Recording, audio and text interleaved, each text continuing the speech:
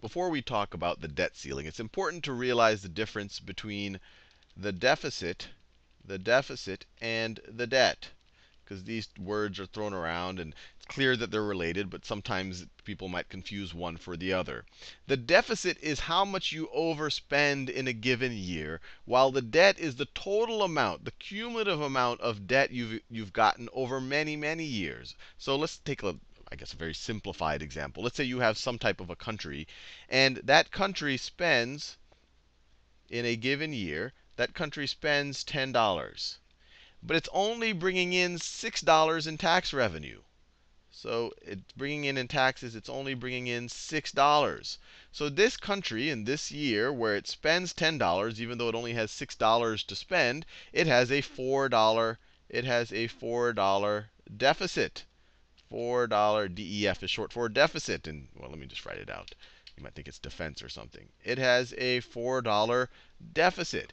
And you might say, well, how does it how does it spend more money than it brings in? How can it how can it actually continue to spend this much? Where will it get the $4 from? And the answer is it will borrow that $4. Our little country will borrow it. And so the debt, maybe going into this year, the country already had some debt. Maybe it already had $100 of debt. And so in this situation, it would have to borrow another $4 of debt. And so exiting this year, it would have $104 of debt it would have $104 of debt.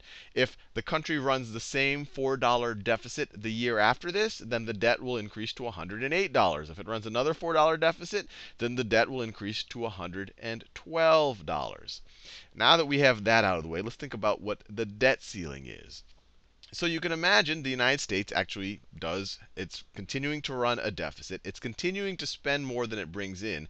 And actually, for the United States, these ratios are appropriate. The for every dollar that the United States spends right now, 40%, 40% is borrowed.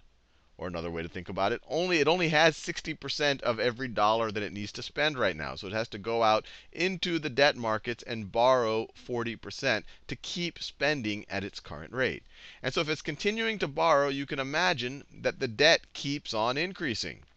The debt keeps on increasing. So let me draw a little graph here. So that axis is time. This axis right over here is the total cumulative amount of debt that we have. We continue to have to borrow 40% of every dollar that we're spending, and so our debt is continuing to increase. So our debt is continuing to increase. And Congress has the power, or Congress has the authority, to essentially limit how much debt we have. So right now we have a current debt limit of $14.3 trillion. So this is $14.3 trillion. And I, even though Congress has this authority, the way that it's worked in the past is it's kind of just a rubber stamp. Congress has just always allowed the debt ceiling to go up and up and up to fund our borrowing costs. And if you think about it, that kind of makes sense because right now Congress is the one that decides how, where to spend the money. What are the obligations? And so the debt ceiling is like, okay, we've already agreed what you have to spend your money on. Congress has to determine, Congress is the one that figures out what we spend our money on and what our taxes are.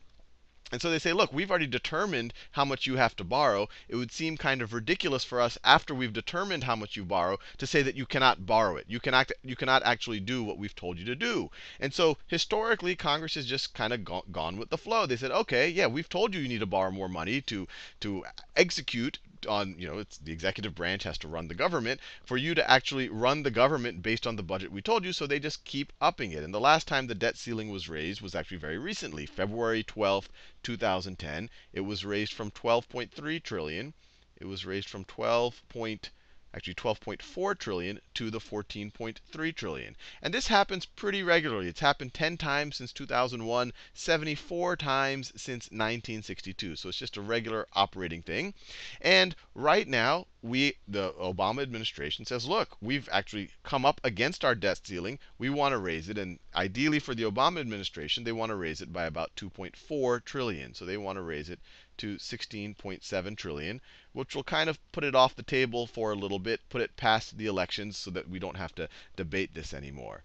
The Republicans, on the other side, want to essentially use this, and this is a little bit unusual, to use this as leverage to essentially reduce the deficit. And not only to reduce the deficit, but in, in particular to reduce the deficit through spending cuts. And so that's why it's become this big game of chicken and why we're going up against this limit.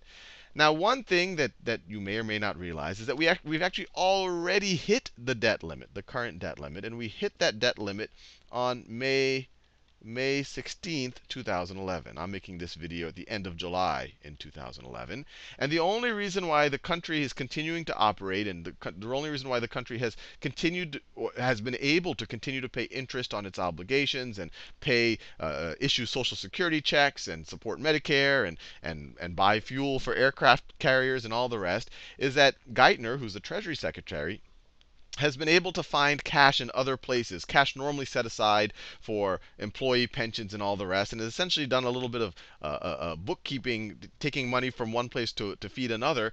But what he said, what he's publicly said, is that he'll be able, he won't be able to do that anymore as of August 8, August 2nd, 2011. So this right here is the date that everyone is paying attention to, August 2nd, 2011. According to Geithner, at that point, he won't be able to find random pockets of cash here and there and shuffle it around and you know what he calls extraordinary measures. And at that point, the United States will not be able to fulfill all of its obligations. And so if you think about all of the obligations of the United States, this is a huge oversimplification here. So this bar is, represents all of the obligations. Some of those obligations are things like things like, well, it's interest on the debt that it already owes. It already owes a huge amount of debt, $14.3 trillion. Things like Social Security, Medicare, Medicare, defense, defense, and then all of the other stuff that the company, the, the, the, country, that the country has to has to support, all of their other obligations. So if as of August 2nd, 2011, we cannot issue any more debt, and Geithner can't doesn't have any extra cash laying around with these extraordinary measures, then the, the only option, if if those are the only options on the table, the only option is to somehow reduce some of these things by 40%, because 40% of, of every dollar we used to spend on all of these obligations, 40% are borrowed. And so something over here is going to give. We're not going to fulfill our obligations to one or more of these things. All of these things that we are legally obligated to fulfill, that Congress has said. These are the things that the United States should be spending its money on. And so at that point, it is perceived that we would have to default. And a default actually would be on any of its obligations. But in particular, we could be, we, especially if we have to cut everything by 40%, and we don't want to see retirees, you know, not be able to, you know, get evicted from their houses, or aircraft carriers not have fuel, or whatever else, we might defer or have try to restructure or do something weird with our debt. In which case, we would be defaulting. And I want to be clear: a default it's usually referred to not fully paying the interest on debt that you owe, but it would be a default would be any of its obligations. The United States has this triple A rating. If the United States says it's going to give you a Social Security check, you trust that. If the United States says that it's going to it's going to pay for that Medicare payment, you trust that. If it if it says it's going to give you an interest payment, you trust that.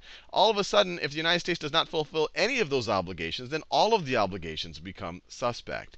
And the reason why this is a big deal is you can imagine if if you borrow money and you've always been good at, at, at, at paying back that money, you're going to have you're going to pay lower interest than other people would have to pay. But all of a sudden, for whatever reason, one day you default, you either delay your payments or you say you don't have the cash to pay your payments, then people's like, wow, you're a much riskier uh, a risk you're a much riskier person to lend money to. So now I'm going to increase the interest rates on you. And so the perception is is if the United States were to default on its debt or any of its obligations, that interest rates that interest rates would go up.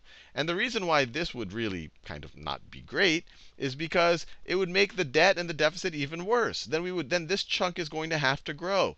Our obligations are on, on debt as, as new debt gets issued. We're going to have to pay more and more interest, so it's going to just make matters worse. It's going to make the deficit worse. And on top of that, it's not just that the government's debt, the interest on the government's debt will go up, but, gov- but interest on all debt in the United States will probably go up because government debt is perceived to be the safest. It's the benchmark. A lot of other debt contracts are actually tied to government debt. So you'll have interest rates throughout the economy go up, which is exactly what you do not want to happen when you are either in a recession or when you are recovering from a recession.